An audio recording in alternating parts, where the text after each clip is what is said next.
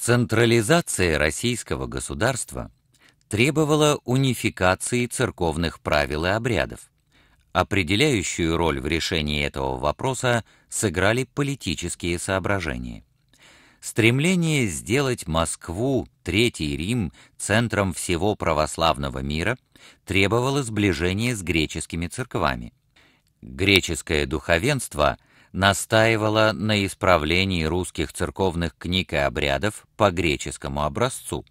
Между тем греческая церковь со времен введения православия на Руси пережила ряд реформ и значительно отличалась от древних византийских и русских образцов. Поэтому часть русского духовенства выступила против предложенных преобразований. Но патриарх Никон, опираясь на поддержку Алексея Михайловича, решительно провел реформы в жизнь. Фактически речь шла лишь о незначительных изменениях в обрядности. Важнейшими стали крещение не двумя, а тремя перстами, замена земных поклонов поясными, троекратное пение «Аллилуйя» вместо двукратного, движение верующих в церкви мимо алтаря не по солнцу, а против него. Противники Никона, старообрядцы, отказались признавать его реформы. На церковных соборах 1654 и 1656 годов они были обвинены в расколе, отлучены от церкви и сосланы. Наиболее видным сторонником раскола был протопоп Авакум. После 14-летнего заключения в земляной тюрьме Авакум был заживо сожжен за хулу на царский дом.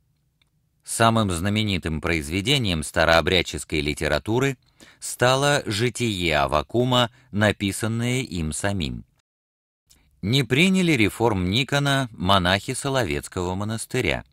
Вплоть до 1676 года монастырь выдерживал осаду царских войск.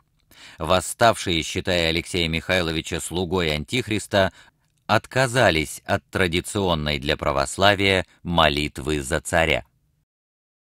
Властный Никон активно вмешивался в светские дела. Постепенно это стало тяготить Алексея Михайловича. В 1658 году Никон уехал в Воскресенский Новый Иерусалимский монастырь.